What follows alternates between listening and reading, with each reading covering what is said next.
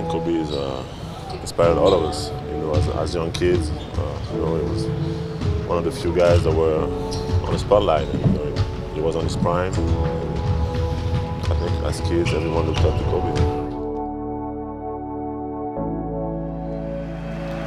Now what will happen here, as we saw yesterday, Matt, Donovan is just going to stand at midcourt. And in Kobe's honor, he wore 24, he wore 8, and they will take a 24-second shot clock violation. And look at the emotion, the response of this home crowd.